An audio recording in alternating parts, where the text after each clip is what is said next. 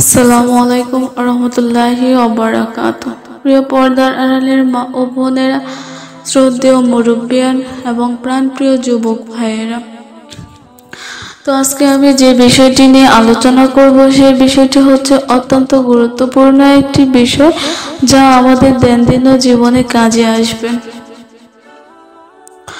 তো এই ভিডিওটি যারা আঠারো বছর ঊর্ধ্বে, তারাই শুধু আমার এই ভিডিওটি দেখবেন। যারা আঠারো নিচে, তারা আমার এই ভিডিওটি দেখার কোনো প্রয়োজন নেই। কারণ যারা বিবাহিত, তাদের জন্য এই ভিডিওটি।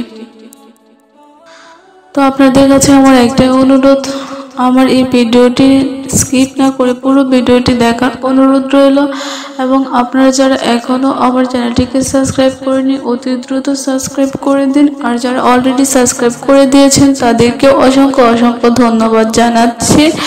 তো, আমি আমার আজকের মূল আলোচনা শুরু করছি। তো, আজকের গুরুত্বপূর্ণ আলোচনা হচ্ছে, মার্কিন যুক্ত যুক্তরাষ্ট্রে এক হাজার একশো সত্তর জনের সাক্ষাৎকারে নেওয়া হয়েছে। তো আবারও বলছি, মার্কিন যুক্তরাষ্ট্রে এক হাজার একশো সত্তর জনের সাক্ষাৎকারে নেওয়া হয়েছে। মার্কিন যুক্তরাষ্ট্রের ইন্ডিয়ানা ইউনিভার্সিটির দ্য ক্রিন্সে ইনস্টিটিউটের গবেষণায় পাওয়া গিয়েছে, তিরিশ বছরের নিচে। বয়সীদের সাধারণত দিনে দুবার সঙ্গমে লিপ্ত হওয়া উচিত। মাঝে মাঝে বা মানে বছরে একশো বাইশ বার, তো ত্রিশ থেকে উনচল্লিশ বছরের মধ্যে যাদের বয়স তারা খানিকাটা সহবাস করেন, তো এক থেকে ছয় বার প্রতি সপ্তাহে মানে বছরে ছিয়াশিটি বার সহবাস করতে পারবেন।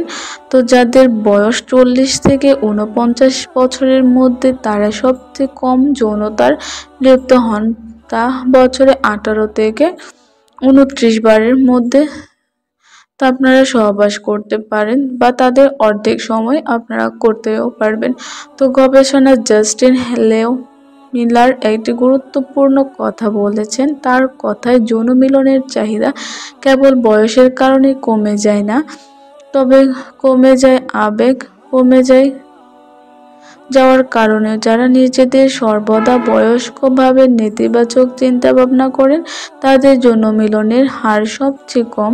এর ফলে হৃদরোগ, উচ্চচাপ, রক্তচাপ, ডায়াবেটিস বিভিন্ন রোগে আক্রান্ত হন। তো প্রিয় দিনী ভাই ও বোনেরা, এ ছিল আমার গুরুত্বপূর্ণ আলোচনা। তো আমি আশা করি আমার এই আলোচনাটি আপনার প্রতিনিয়ত উপকারে আসবে। তো যদি আমার আলোচনাটি ভালো লেগে থাকে, তাহলে অবশ্যই আমার চ্যানেলটিকে লাইক, কমেন্ট এবং সাবস্ক্রাইব করে পাশে থাকবেন। তো আজকের মতো এই পর্যন্ত। আসসালামু আলাইকুম।